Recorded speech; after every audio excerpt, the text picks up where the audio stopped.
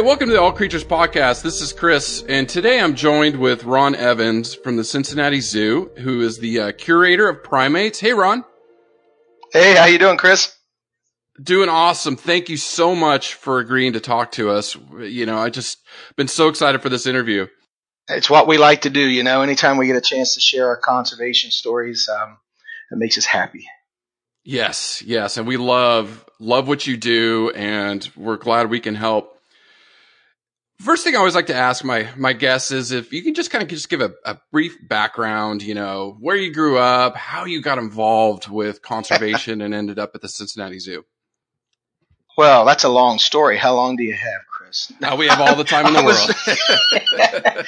so I'm a Cincinnati native, born and raised, and uh, Thane Maynard introduces me to people. He's the director here at the Cincinnati Zoo. This is Ron Evans. He's curator of primates. His parents left him here one day and never came back. So that's that's kind of my history, but you know, it goes back further than that. You know, I grew up with parents who loved the outdoors for the most part. They used to take us camping when we were little kids, and that young exposure is, I think, what really did it for me. We had woods near our house, and we would spend all summer out in the out in the woods building clubhouses and rope swings. So I've always had a love of nature, and that's what's so important about you know young folks getting out there and getting connected to nature at a young age. It's getting there's more and more of a gap between us and the natural world.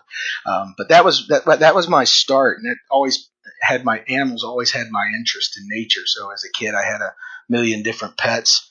I had the opportunity once again to start around the zoo at a, at a, at a as a teenager, and I always liked tropical fish. I always imagined myself working in our aquarium we used to have. And then I had the opportunity to help one of the gorilla keepers out one Saturday. And I said, sure, I've never seen a gorilla before up close. And went in there and took one look at a gorilla.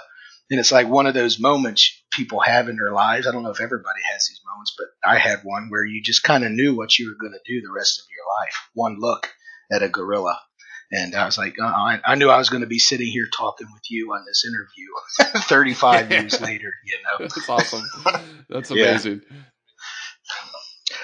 So yeah, I'm, you know, and I just worked my way up through the zoo over the years. I, they hired me actually when I was 17 years old as a zookeeper, and that was a different time back in the early 80s. But um, you know, we don't do that these days. The pathway to becoming a zookeeper in the zoo business or a manager is definitely uh, long and a lot of competition. A lot of people want to be involved with, with wild animals like we have in zoos, and that's great. But, you know, you get your degree, you have to intern, you have to be better than every other intern, you have to vol- volunteer, get into a part time rank, and then be better than everybody else that's doing that at the same time, and then kind of be in the right place at the right time after you do all those prerequisites. It's really tricky, and that's a good thing because it allows us to be really, really picky about who we bring in to do the important work of taking care of these animals and telling their stories. No, it is. It, it's so interesting because it seems like all the people we interview, there's just a similar theme. And, you know, you opened up with being out in nature and having animals, having pets right? So that has such an impact on you as a young kid. Absolutely, yeah, it does. Um, and that, that once again, that's just just the way our, our our lives are these days. You know, it's so tied to our computers and our phones, and that's for better or worse. You know, it, it, helps us do things better. It helps us enjoy life better, but it just kind of dr- makes a wedge between the average person and the natural world more and more often, which is a real challenge for conservation messaging. And you know and we got we don't want to go too sensational with our messaging because we want people to truly understand what we're talking about when we're talking about conservation. And that's why zoos are so important to that you know? Um, they are that opportunity for the average person in the middle of a city who usually has you know plenty of time on their phone or on their computer. It, it gives them that moment where they can go to the zoo and actually see a gorilla or see a bonobo or see an eye or a pygmy slow loris or a, whatever it is that you want to take a look at and have maybe have one of those moments like I had when I was a teen, young teenager to maybe like, wow, that that's something special, and maybe I should pay attention a little bit closer. And it gives us the opportunity, of course, to share those stories. No, absolutely. I mean, I, you know, I go back to my childhood and San Diego Zoo, you know, that is where my love and appreciation for all species developed. And eventually I went on, got my, you know, bachelor's degree, master's degree, PhD. And here I am today, you know, speaking to people all over the world about animal conservation. So, I, I, I just want to the, the take home message for the listeners is you know get your children involved go visit your accredited zoos aquariums and get out into nature as much as you can or parks or things like that, that, that that's kind of wrap that up yeah yeah and i'm really glad you said accredited zoo because that's very mm-hmm. important there are a lot mm-hmm. of people who think they are doing good for animals or maybe actually not doing so good for animals that may call themselves a zoo but when you're talking about an AZA, Association of Zoos and Aquariums accredited zoo, you're talking about an organization that has to meet incredibly high standards to get that accreditation. And it means that the animals in that facility are getting exemplary care and are doing all kinds of things that require you to be able to get that accreditation. So stick with those, not not Joe's Roadside Menagerie. That's probably hmm. not helping much when you when you go to those things. No, but there's no, some good it, there's some good supporting zoos out there as well.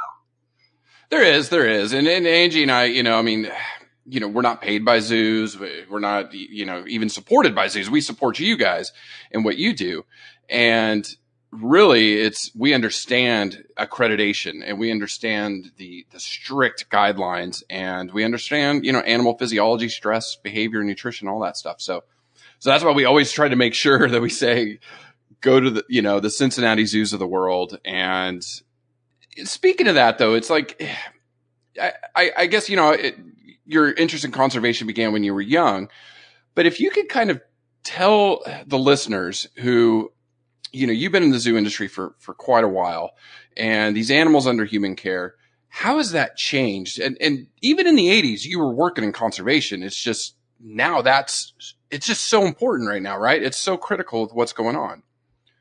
Absolutely. You know, zoos have come a long way in, in, in, my career, that's for sure. And I still have a lot of career to go, and hopefully they, it just continues to improve.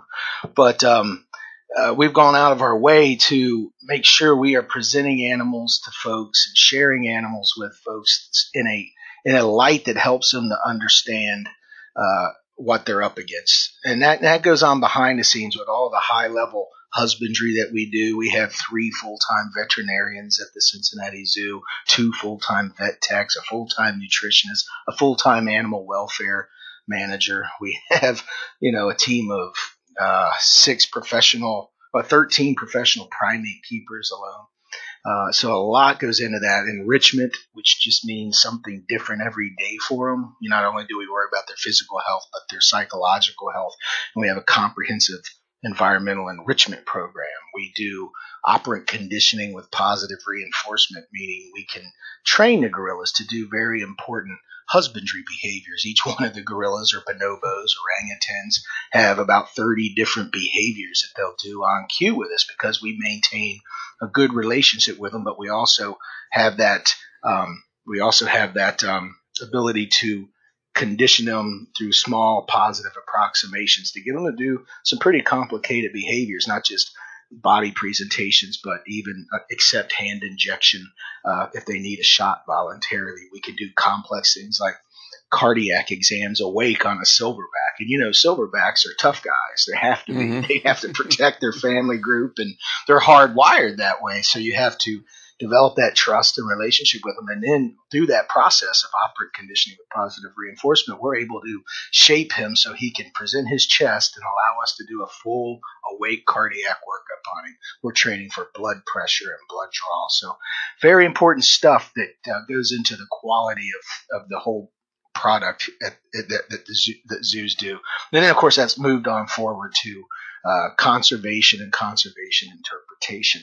Not only do we take care of the animals we have here at Cincinnati Zoo, we do that on a globe on a national scale. We all the gorillas and all there's something like 300 different species survival plans that oversee the management of any given species all throughout North America. We keep, I sit on the Gorilla Species Survival Plan Management Group as well as the Bonobo SSP Management Group. I also sit on something called the Prosimian Taxon Advisory Group uh, Steering Committee. And that includes all the little dudes, little primates like lemurs and, and lorises and galagos and things you may not you may not recognize when, Right, when right. you hear, you know. So and and so we get together on a, uh, we're in constant contact actually, coming up with uh, transfer plans or breeding plans that go into not only managing the health of the population. We don't take primates from the wild anymore. We don't want to take primates from the wild anymore. We do everything we can protect primates in the wild. So it's up to us to make sure we're doing everything perfectly with the ones we have in zoos. And a whole lot goes into that. We keep track of everybody's genetics. We keep track of everybody's personalities. Each zoo has a representative that communicates with the SSP. Um, and we get together regularly and come up with, with these master plans of how to uh, take care of these guys as a as a big population. So we're doing it at the zoo level, we're doing it at the national level, and then we we go the next step and we do stuff in the field. And Cincinnati Zoo, as well as plenty of other zoos, have been part of you know wild. We've been part of wild gorilla conservation for uh, about 20 years now, over 20 Mhm. years actually. Uh, most of that's been focused in the Republic of Congo, which uh, Mhm. has one of the very first, if not, it is the oldest running study of wild western lowland gorillas, which are the kind we have in zoos. There are two species of gorillas, and those species are broken into two subspecies. There are mountain gorillas, or there's eastern gorillas and western gorillas. Mhm. Mountain gorillas are eastern gorillas. They're the ones that Dian Fossey worked with. Those are the more familiar ones. If you go see gorillas in the wild, most likely you're, you're going to go see a mountain gorilla because the ecotourism is set up there. The word ecotourism didn't exist before the mountain gorilla ecotourism program was started, Mhm, and it's wi- wildly successful. When that started, gorillas were at about four. Mountain gorillas were down about 400 individuals, and going the wrong direction rapidly. But after they started the, you know, combining the research with ecotourism, with community outreach and education and, and support of the community, so they had buy-in. Now gorillas, uh, mountain gorillas are at a thousand individuals. That's still not a good number, but Mm-mm. based on how much space they have because they've lost all their rainforest other than a relatively small section, that's pretty darn good. And that is an, a direct, one of the biggest success stories in conservation going are the mountain gorillas. So zoos, we have western lowland gorillas. Right. And right. west, so, yeah. So western lowland gorillas are more plentiful in the wild. They, they, they exist across a lot more countries in Central Africa. You find them in Gabon and Nigeria, Cameroon, Republic of Congo, not the Democratic Republic of Congo, but the Republic of Congo, uh, Central African Republic. And, um, and there are about estimated 300,000 or so of those. That number actually just has gone up, which is really good to know. Not that they've grown, but they're just really, they're a lot better now at taking censuses than they were before. The problem is they are still in, in bad shape, uh, with the rate of deforestation going on throughout uh, the Central African countries, their range countries, um, which feeds into things like the bushmeat trade, which um, just means, you know, they're, they're- for centuries, local people used to eat gorillas and other animals that feed their families. The problem is it's become a big commercial business. So, Mhm. uh, and it's illegal uh, because gorillas are an endangered species and protected. And, and so these, these trappers will go in on logging roads because the, the, the rainforest has all these, all these deep logging roads cut back into and they illegally pull out bushmeat, gorillas, duikers, anything they can catch and sell it. I mean, it is a huge, huge business, and it is contributing to the very rapid decline of western lowland gorillas and, and a lot of other species that share the rainforest habitat. So we lose an estimated 2,000 western lowland gorillas a year. It's kind of hard to Mm. completely know, but, Yeah. but it's just not it's just not sustainable, right? Mm-mm. So it's important that we're kind of doing doing the front work right now, and our partners. So it's a Wildlife Conservation Society uh, uh, project called the Nouabalé-Ndoki Project. It's located in the Republic of Congo in the Nouabalé-Ndoki National Park. It's North Republic of Congo. and we've been uh, supporting their work for years um, in lots of ways. Primarily, we make sure we we send we, we support them financially, of course, but we also ask them specifically, what do you need help with all the time? I've had the opportunity to travel there on several occasions.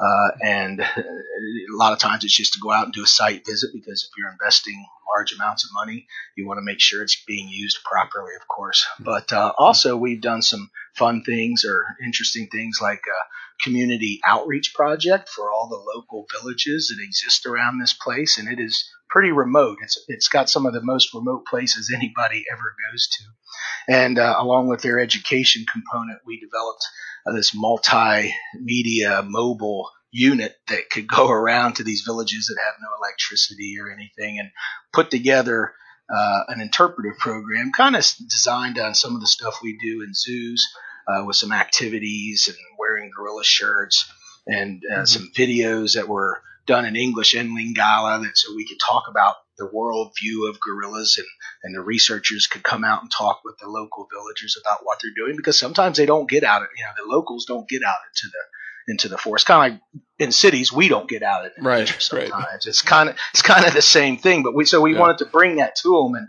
and paint that picture and surveyed it. And we had a paper published, and you know it wasn't the biggest groundbreaking work, but it's just we we look for niches where the Cincinnati Zoo can be effective and can help beyond just just um, donating money. Uh, we mm-hmm. also uh, had the op- I've had the opportunity to, and we've helped support the habituation of of some of the study groups, which is a slow, slow process to get them used to researchers and trackers nearby. And on one particular visit there, I went to this place called Mondika, which is mm-hmm. a study site where they do do up close observations on specific family groups to get that that demographic information and behavior information.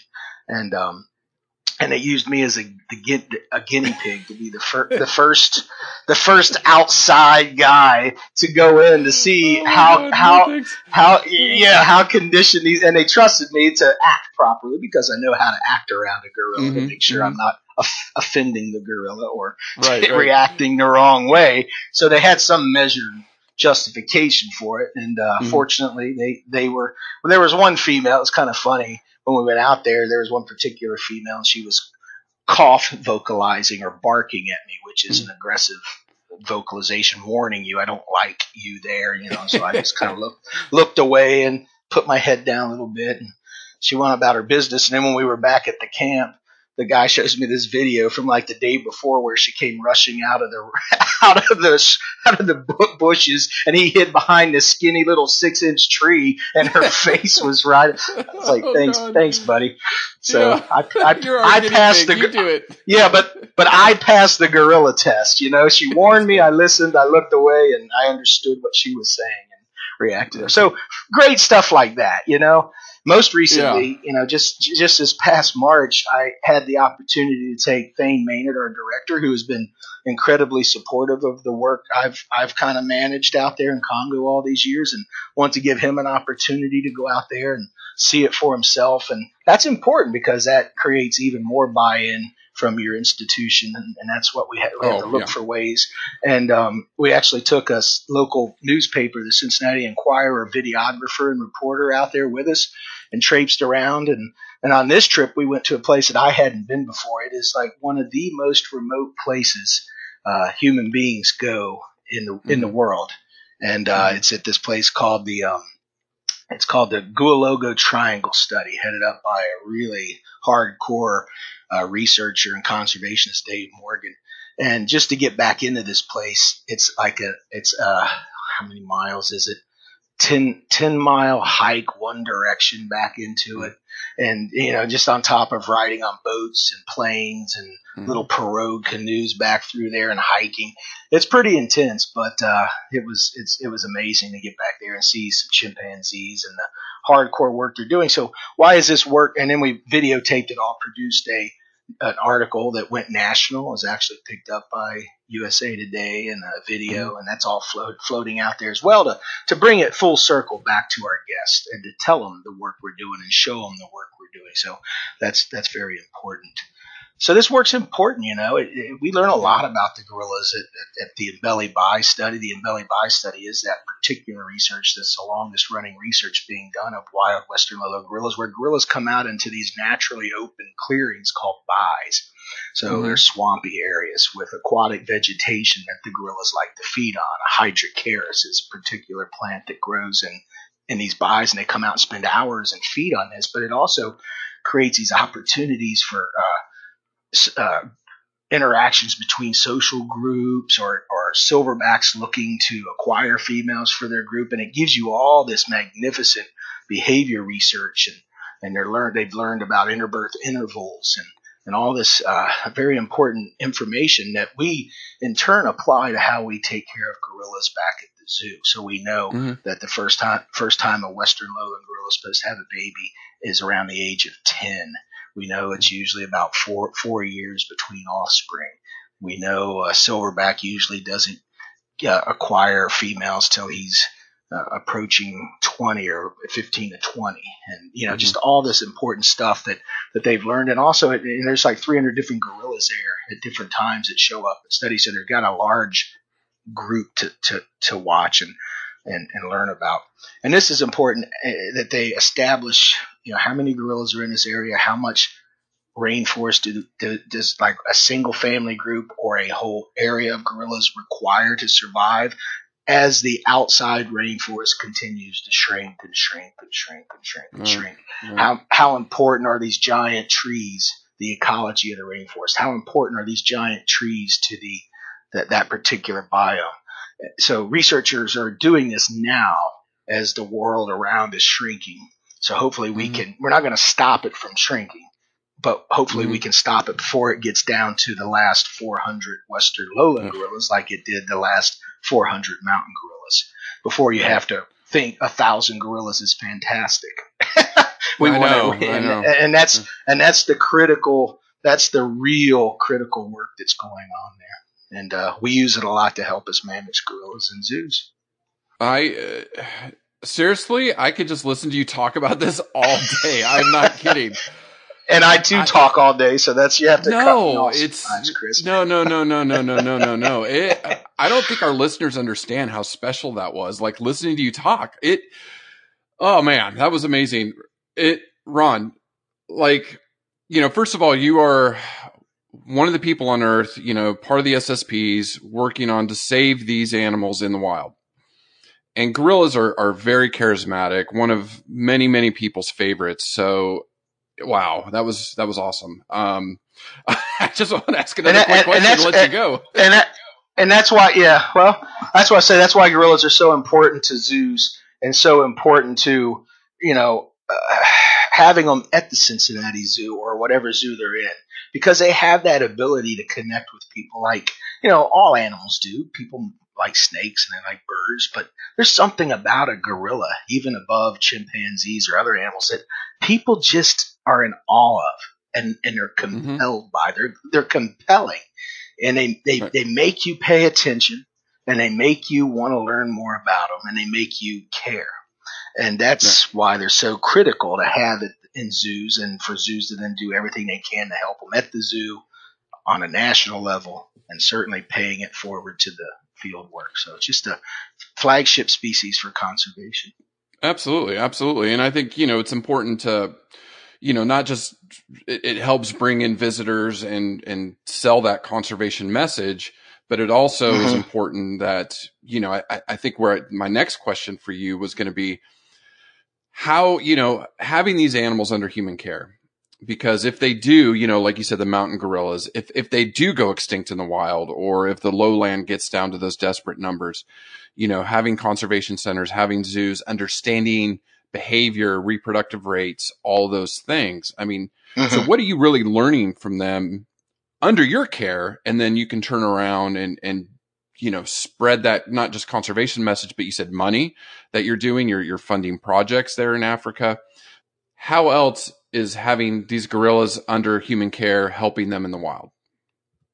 Yeah, well, like I, have already talked about a little bit, they, mm-hmm. they are ambassadors for wild gorillas. They they create the interest that is so critical to catch people's attention and tell the story of their wild counterparts. That is the primary mission of a zoo gorilla or as any zoo animal. And also, of course, we do work on a lot of research projects in zoos um, for all kinds of different animals. Uh, gorillas, uh, we do a lot of research on, you know, uh, on testosterone levels in, in young males and what age uh, we know they go through testosterone poisoning like a young teenager when they hit about 10 years old and the testosterone spikes through the roof, right? And we know mm-hmm. that at that point, they're probably too big for their britches and won't be able to stay in their natal group. And then maybe they're not going to be really able to just transition to a, to a, um, to a social group. So we identify these boys young and try and get them together in bachelor groups in zoos. Once again, this is more like what we've learned from wild gorillas because wild gorillas will do this. They will form, young males will form bachelor groups. But we've studied why that is, I think, differently than what they can do in the wild through that test, through, um, testosterone testing and, and understanding what the function is, which also helps support, you know, what they're doing in the wild and why the gorillas are doing that and why you need this much space to be able to accommodate bachelor groups or whatever in the wild. So it kind of goes hand in hand, I guess. Um, but we we're learning a lot from them that we apply, maybe a little more than they learn from our stuff that they apply to the wild. But like I said, the number one reason for gorillas and zoos is to as is as it is ambassadors for wild gorillas. That connection right. is so critical. Yeah. Right. And, you know, and before we, we started recording, I, I brought up Harapan, the Sumatran rhino that was born there at Cincinnati Zoo. Sure. you've, you've had a few born there and that was. Well, that is a good example of, yeah, that's a perfect example of zoo research going back to the wild. So that mm-hmm. does happen a lot with a lot of species. Gorillas may not be the best example, but Sumatran rhinos is probably the premier example of a, a species that is in desperation.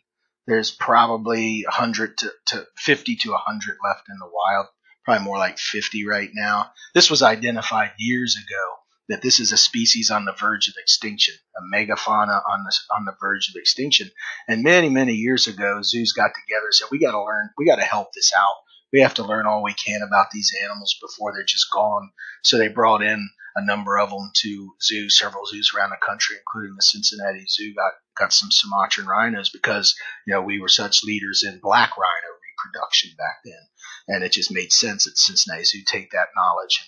But they were tricky. Sumatran rhinos were like no other rhino and no one could figure them out for the longest time until we brought on a researcher who we put, you know, that the zoo put specifically in charge. This is your job. Figure this out, Dr. Terri Roth, who still heads our mm-hmm. Center for mm-hmm. Research, Center for Research of Endangered Wildlife, and she figured out things that no one else knew about Sumatran rhinos. She knew she, they figured out how long their cycles were. She figured out exactly when the time that they might want that, the female was ovulating. She also, or, or that, that, was coming up, she also discovered that they're induced ovulators and that it takes the, the breeding to actually stimulate this. But she could tell the keepers because Sumatran rhinos are very solitary. They don't live in, you know, pairs for the most part and usually only come together for breeding. But because she could tell when the hormones were at the right point through blood work and fecal samples, she could advise the staff on when was the best time to put the pair of rhinos together to have a successful breeding.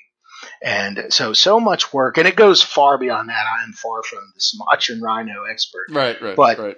Now that now Sumatran rhinos are pretty much done in zoos. There, there are no more Sumatran rhinos in zoos. It just wasn't a sustainable number in zoos to be able to do that long term. But we learned so much valuable information. We've sent two of our rhinos back to um, back to Sumatra to be in sanctuaries. And a part of Terry's job all these years as well was to work with the sanctuaries in the field and help teach them how to do this same work, which is critical. If you're going to save Sumatran rhinos, you're going to have to have these sanctuaries in these places, along with working with the government to try and conserve their habitat. So that information was invaluable to doing to, to giving these guys a chance.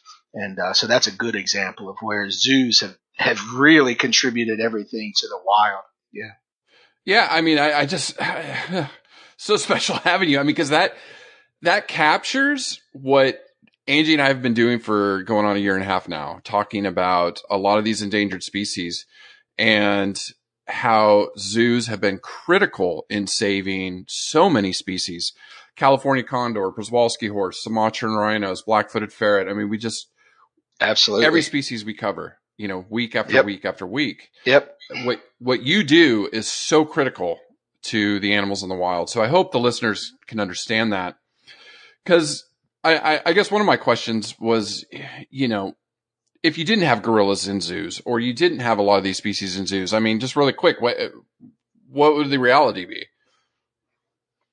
Well, I think there would just be a bigger disconnect between the people of influence. You know, the people in Africa, they're one thing. You know, everybody says, how could they do that to their gorillas? Well, you know, the number one, one of the number one uh, things that are is contributing to the um, to the uh, bushmeat crisis is mineral mining. And so all this law, all the logs and all this minerals and everything that's coming out of there isn't going to Africa people. It's going to Westerners. It's going to the United States. It's going to Europe. It's going to China, and and they're paying them pennies for it. So if you have to make sure people get that message, one of the things we've really excelled at here over the years is cell phone recycling. We started a cell phone recycling project at the Cincinnati Zoo. Gosh, it's well over ten years now. And you may mm-hmm. say, what's that got to do with anything? But there's a mineral in all of our cell phones and a lot of our electronics called coltan. And coltan is mined from Congo and it's used in the manufacturing of our cell phones. So everybody's got a little bit of gorilla habitat in your pocket, most likely, and you mm-hmm. don't even know it. So we tell that story here at the zoo through the gorillas. We offer people a chance to recycle their cell phones with us. We even have a partnership with Gorilla Glue, which is a local Cincinnati company, where mm-hmm. we'll do na- national projects where uh, the class or maybe scout group that collects the most cell phones uh, can win a, a, prize, a cash prize. The the group that comes up with the most clever um, collection campaign or video that goes along with it also uh, can win a prize and get their video out there. So that's important because you're reaching young people. And over that time, we've collected well over a hundred thousand cell phones, which is by far wow. the most any zoo has ever collected. And what's most important about that is, you know, we the money we make off of it, sure, we, we reinvest right back into our our wild gorilla conservation work. So we're making money. That's one part of it off of the cell phones, but mostly I like that hundred thousand cell phones just isn't 100,000 cell phones. That's 100,000 thoughts people had about conserving gorillas while they're at home. It's, it's when they took yeah. that, they took that home with them and, and they put these projects together and they collect all these cell phones and they're thinking about it and they're talking about it and they're young people and they won't forget that as they grow up and maybe they, it inspires them to be the next Dian Fossey, or maybe they work at Walmart. But I guarantee you, they're going to remember. They're going to have a soft spot in their heart about how they helped gorillas when they come to the zoo. They're going to see gorillas and maintain that that care, and that's that's what it's all about. Is trying to. No, yeah, that's yeah. Bravo on you guys. I mean, yeah, that's. I know we've we've mentioned that before, but we will definitely keep highlighting that to uh, recycle these things and yeah, you know, participate sure. in those programs. So here, here's a random question. I was just while you were talking, and I know you you work with all sorts of primates. Can you just kind of talk the difference between you know working with gorillas versus say orangutans? Yeah, well, I always say uh, we have three great ape species at Cincinnati Zoo. We have we have gorillas, we have bonobos, which are super rare as well. Only place you find bonobos are in the Democratic Republic of Congo. They're our closest living relatives. Most ape species share like 98% of the same DNA as humans. Bonobos share 99 point nothing percent same mm-hmm. DNA as as we do, and then orangutans. So orangutans are quite a bit different than gorillas. They're are similar in many ways, but but different. I'll say gorillas are from Mars, orang or bonobos are from Venus, and orangs are for, from some planet we haven't discovered yet. They are just they're so fun and so unusual, and that's because gorillas and chimps and bonobos live in social family groups. They have social learning all their lives. So when they're growing up, in the day a gorilla is born, they don't, or ape is born, orang, bonobo. Most primates, they don't know much at all. They don't, they're like a, you know, a spider or a snake hatches, they pretty much are hardwired and are ready to go day one. No one has to teach them what they need to do. But gorillas are like humans, orangs like humans. They have to learn everything uh, as they grow up, life lessons and all this stuff. And and so gorillas and chimps and bonobos, they don't have to learn every little thing before they become an adult because they live in family groups and they can learn from each other throughout their whole lives. So there's all this social learning always going on, just like humans. Orangs live solitary lives in the wild. They don't live in large social groups. That's because of the environment. They come from very swampy areas. They cannot, you know, sustain big family groups. There's not enough food to go around. It's just not workable. So male and females only come together for the most part for breeding and uh, and and that's only after a, an incredibly long interbirth interval. Next to humans, it's the longest interbirth interval of any animal on the planet. It takes a female orang about eight to ten years to raise her offspring, so she mm-hmm. won't be willing to reproduce again for that long, which is also a big concerning part about their you know critically endangered status and the palm oil issues that that, mm-hmm. that threaten and deforestation because orangs have even a harder time than a gorilla or a chimp to repopulate because of those long interbirth intervals. So that, that, that that's a species that just can't catch up overnight, even if mm-hmm. the deforestation stops. So that's a big challenge. But because they take so long to, you know, they live these solitary lives, and once they leave mom at eight years old or whatever, they still haven't come across every single thing they might. So orangs have these this insanely high curiosity level. Like I think more than human beings even. I think if it could I don't no one's actually measured it, but I think if you could measure what the curiosity level there was, orangs have it more than any species because they have to figure stuff out for themselves or because they don't have anybody else to show them or talk through it or work through it. And uh, so they never get tired of trying to figure something out. It's it's it's insane. So we say there's an old joke, and if you throw a screwdriver in with a group of gorillas, they're going to run from it because gorillas yeah. really don't want any trouble for the most part. As big as they are, they're like, eh, I don't want I don't want to deal with that. If you throw it in with a group of chimps, they'll start stabbing each other with it because chimps are, are, you know, chimps are dead on. We're the same as chimps. There's no difference between humans and chimps. They're zero. You know, they love their families. They take care of their babies. They also organize hunting parties and kill animals and eat them and they wage wars on other chimp tribes and murder other chimps. So zero difference between us and chimps. And if you throw a screwdriver in with an orangutan, they'll figure out how to take their their bedroom uh, facility apart and, and be out in like two minutes. So you, you never give an orang a screwdriver. He'll MacGyver his way right out of there real quick. So orangs are something else. So I don't know if that, that answers your oh. question or not, but no, it does. They, you know, it's I forgot what uh, it might have been San Diego Zoo. There was there was an orang that kept getting out and then would walk the zoo at night and then would would go back in before anybody else showed back up, and did it for months you, until they yeah. finally figured it out. That's it, an orang, man. I tell you, I heard it one story one time, and there's not a lot of orang. We were pretty good at keeping animals in, but there was one mm-hmm, story mm-hmm. I heard, and I won't name the institution where this orang got out and uh, proceeded when no one was around proceeded to walk to the laundry room which he had a sight line from his bedroom mm-hmm. and proceeded to dump a whole box of uh, soap powders in the in the washing machine and started doing laundry because she had seen people doing that for so long she thought this is what you do when you get out and you walk over to that room started doing a load of laundry so, oh so that's why it's important. We, yeah, that's why I mean they're super smart, and we care deeply mm-hmm. about that, and are acutely aware of how intelligent they are, and really work ourselves uh, hard to make sure we're doing everything for them. Here at Cincinnati, we just mm-hmm. expanded our mm-hmm. more than doubled the size of our gorilla facility. It's a spectacular, right. dynamic place, and the gorillas have lots of options and choice and you know we work hard at that but yeah. right, orangs right. they are they are something special that's for sure. That's awesome. Okay so you've been to africa quite a bit and i'm really glad you brought up the ecotourism part. Can you talk about the process of just say somebody like me i'm not a gorilla expert. I want to go to africa. I want to see these mountain gorillas in the wild. How do i do that is there any training involved? And how do they prepare you to be, you know, a foot away from a gorilla? so you, anybody wants to go see a gorilla, you have to realize only about 50% of the tourists ever come back alive. That's the first. I'm just, no, I'm just kidding. Yeah. just, just kidding.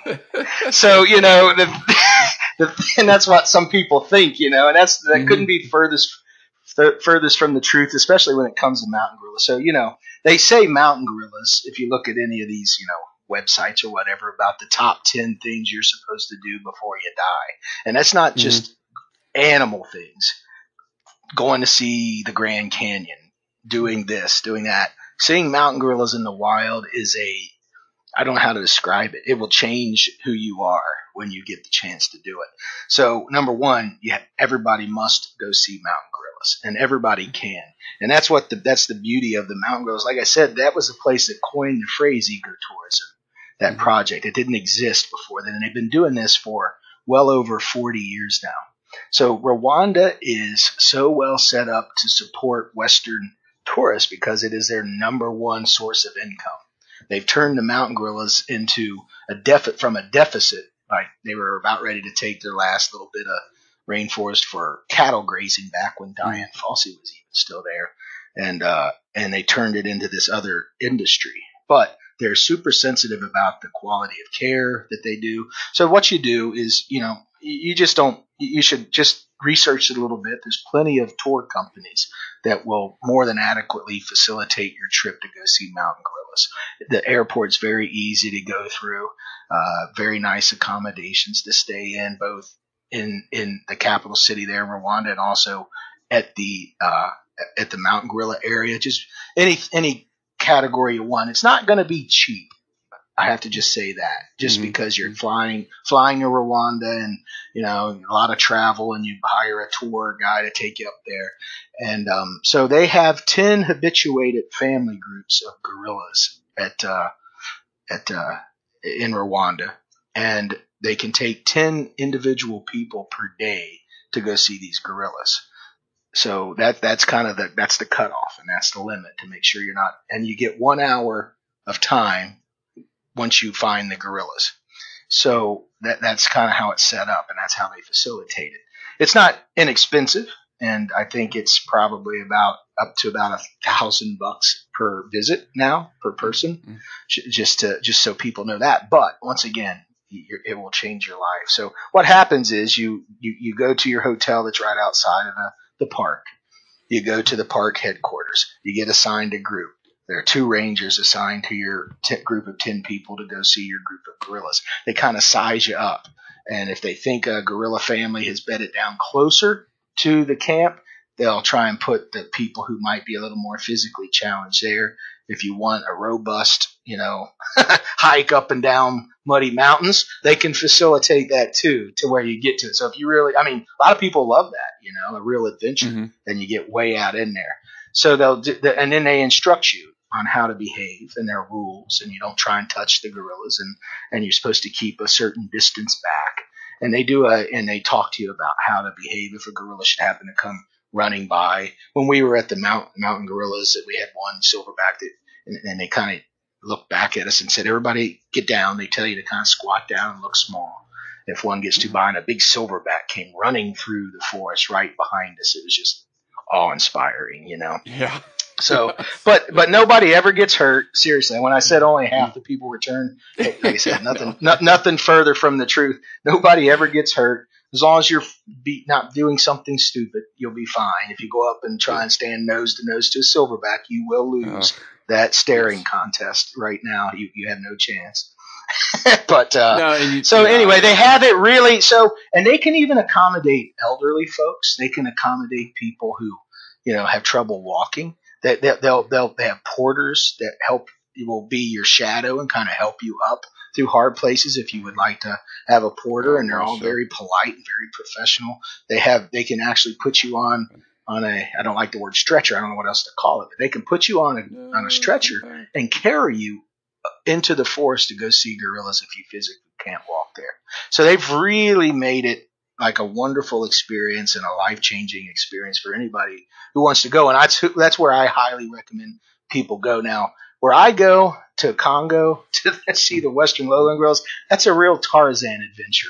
That is walking through water up to your hips. That is long, draining, excruciatingly hard hikes through the forest a lot of bugs and a lot of watch that video we put out uh, recently and, and you and you'll know what we're talking about and uh, yeah. so I wouldn't yeah. re- and but there is there is some I shouldn't I shouldn't like poo poo that away though because there is some really good ecotourism in uh, building in Congo as well to see gorillas and that's one of the things we've helped uh, one of the many things we've helped them with over the years is helped with some of the infrastructure and uh, health care for their trackers and for their for the ecotourism part that goes on at, and then the Nouabalé-Ndoki project because we know um, that kind of uh, capacity building for the for the people working there as well as the ecotourism facilitation is important so they can have that more revenue to generate for the research and conservation work they do. So that's very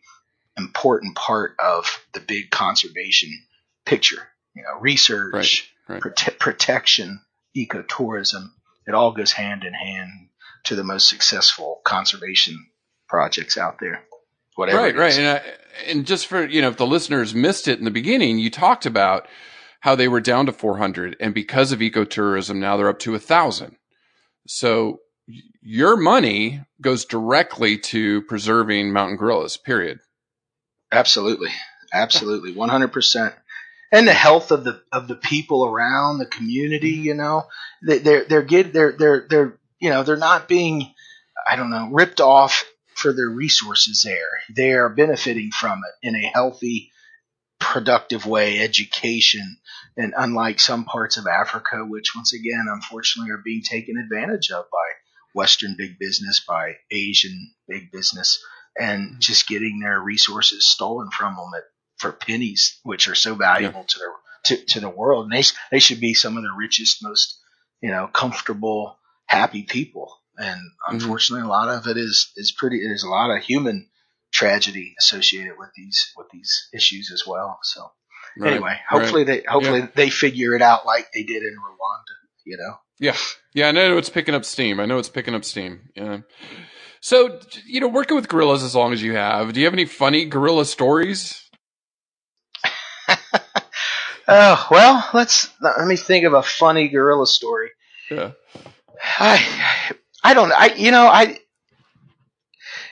I have rewarding gorilla stories. I think mm-hmm. you know, I, I, and, and and I'll probably come up with a funny one here soon. But you know, t- today actually that they were recording this, I'm sure it's not the day that it'll air. Mm-hmm. Is a, a gorilla named Gladys's uh, sixth birthday, and Gladys was an orphan gorilla who came to us uh, from a different zoo as part of the species survival plan management. They recommended we take Gladys uh, to be part to find her a foster mother here at the Cincinnati Zoo since we've had 50 gorillas born at the Cincinnati Zoo over the years. We're one of the top mm-hmm. zoos in the world to, for gorilla reproduction. And you know, Gladys came in and uh, stole everybody's heart. We put together a 24 hour, seven day a week uh, um, surrogate gorilla team for Gladys because you know the day a gorilla's born, mom never puts them down, and that's what they need when their mother isn't taking care of them. That happens every once in a while. So, uh, so we, but we also knew we had to make sure we started treating Gladys like a mother gorilla would.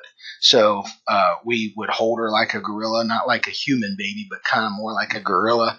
We would make gorilla vocalizations to her, which mm-hmm. is kind of funny. We would talk to her like a gorilla. So if you know when she's real little, it's all soothing, belch vote, positive vocalizations yeah. like that. And then that sounds kind of scary to us, but to a gorilla, that's really good sound. mm-hmm. And um, and as she got bigger, you know, sometimes she would test you and give you a little bite.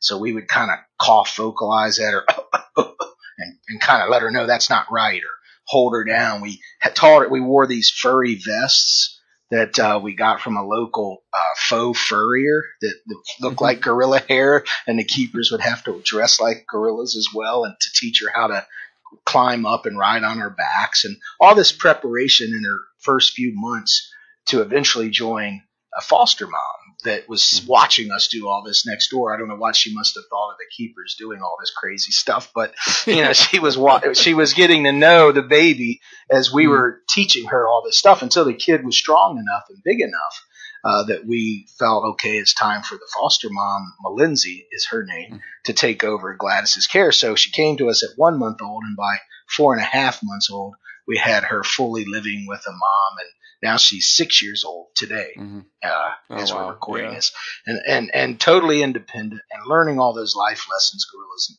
need to learn to properly function in gorilla society, and uh, it's it's you know rewarding things like that that, that make it all s- special. That's for sure. Oh, I can only imagine. I can just. Oh, I can only imagine. I can only imagine.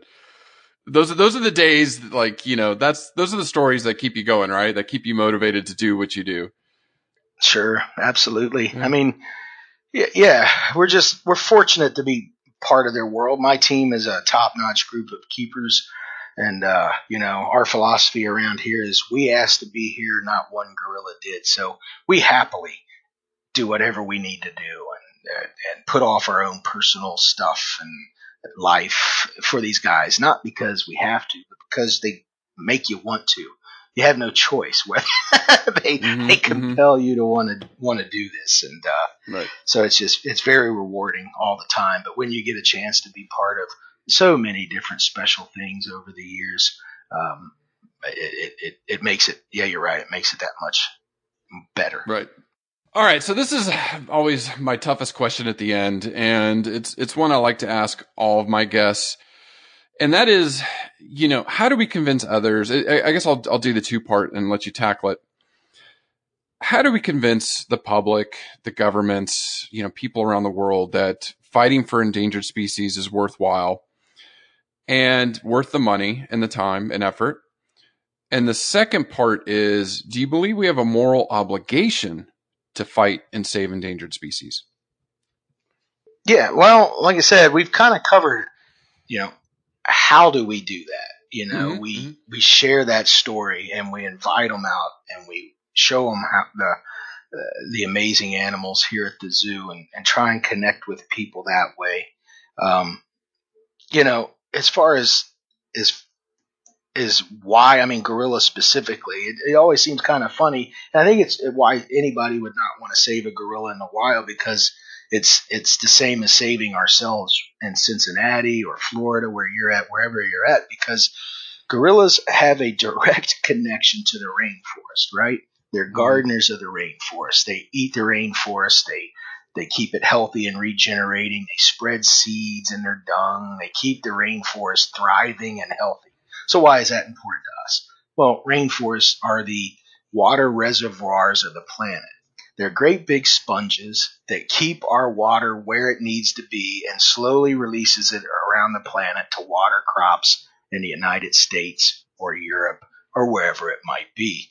They're also the I like to eat. I don't know about you. I like having food Yes. grow, c- crops grow. So, so that's important.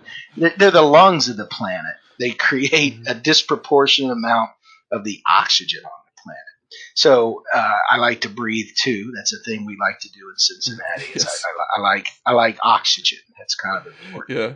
So you know, if you, if even if you don't care about a gorilla or a chimp or a potto or a yellowback duiker or a red river hog or a colobus monkey or whatever lives in the rainforest, you should care about the health of the rainforest because it more than directly affects your life, your daily life, and the direction this planet's going. And the future of your kids if you care about your family. So there's very selfish reasons to care about gorillas and to care about the rainforest. If even if you don't care about them personally, you should care about them for yourself. So that's the part that I always have. It, it kind of scratch my head at uh, why people don't put all that together completely. I think there's a lot of good people that do, and that's the good news. You know, right now we hear a lot of crazy stuff in in the news, but you know, I do know that there are a lot of people who who do care and and are spreading that word like the Cincinnati Zoo and uh, you know I got to think people are smart enough to figure this this thing out once we can get past all the silliness that's getting in the way. We're, we're, we Right. have we have the te- we have the technology to do it. We have the ability to power massive areas with solar panels. We can do this stuff. It's just around the corner.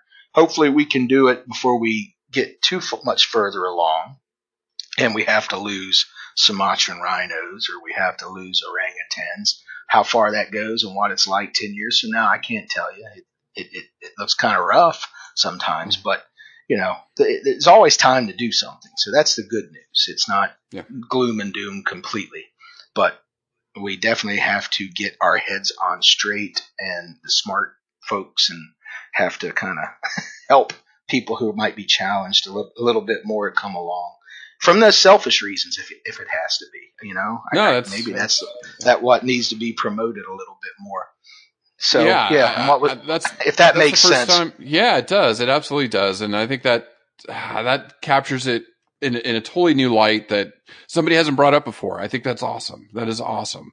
All right, so I guess my final question, because you got to go take care of some animals, is how can our listeners help you, and how can we support you in your efforts there at the Cincinnati Zoo? Well, Cincinnati Zoo specifically, we'll always tell you come to the Cincinnati Zoo. You know, if you're if you're um, in town, anywhere around, you want to do a fun time in Cincinnati. Cincinnati's a great city. A lot of great heritage here. Lots of beer in Cincinnati. So you come here. You know, we're an old German town in Cincinnati, and uh, the beer flows, and we have one of the best zoos in the country in little bitty Cincinnati, Ohio. Know, some might think that this zoo shouldn't belong here. It should be in a big city with lots of money, and we just know how to do it uh, in a different way here at the Cincinnati Zoo. So you won't be disappointed. That's that's that's one thing. So that's the best way you can help us out. But you know, we got that great cell phone recycling program. Look for that. You can go to our website and and see how maybe your school or something can join up with that program. That would be wonderful. And that Mhm. goes directly back into helping gorillas and bonobos and a whole lot of other species that live in the Central African rainforest. Um, so, uh, and yeah, just uh, and be interested in your local zoo too. You don't have to come all the way to Cincinnati because we're all in it together. You know, AZA institutions and take your kids out to camp like my parents did when they're little.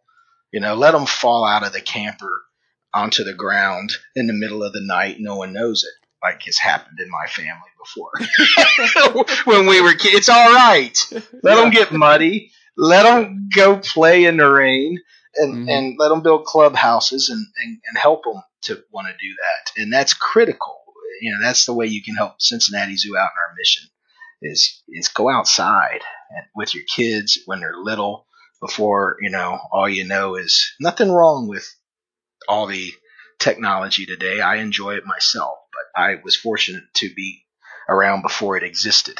So I can Mhm. only imagine how tough it is to to get your kids out into the into the woods. But do that. Yes. That that would help Cincinnati out a whole Cincinnati Zoo out a whole lot as well. And then they want to come to the zoo, and you won't have to make them because they like. No, I know. We're going to the zoo again today, kids. no, like I want to play. Yeah, exactly. So make them want to do it young. That's how you help out Yeah, zoos and yeah. nature, and that probably is the most important thing somebody can do for your God, Kid. I, I can't believe Turn- we turn them into- an- turn them into beekeepers. Hey, how do you, Yeah. I, I know something about you guys too. Yes, Turn them into beekeepers, Chris, when they're have, kids. We have, we have. exactly. Uh, I mean, I can't believe it's been an hour. Like, I could listen to you for another hour. Let, let, us keep going. No, Yeah. um, yeah. I, I'll talk, and that's my problems. People just have to cut me off every once in a while. no, no, Ron, Ron Evans, Cincinnati Zoo, curator primates. I think I'm gonna have to have you on again. Like, we're gonna have to do this again. It was amazing. Yeah. Next time we can talk about I, I, I or maybe Yeah, pygmy, yeah, yeah, yeah. pygmy, pygmy slow loris. Other cool Yes. subjects out there as Yeah, well. Although I am known for gorillas and and they are my inspiration and they're they're they're they're, what drive me. But um, a lot bigger bigger primate world than certainly just the gorillas. Right, there is. It is. It is. But Ron, thank you so much for your time. I know you're busy. Uh, your message is going to get out. I, I, oh, that's it's amazing hour. Thank you again so much. Well, thank you. I really appreciate the opportunity and love what you're doing. Keep it up, and uh, I'll help you out anytime you need me. All right. Take care.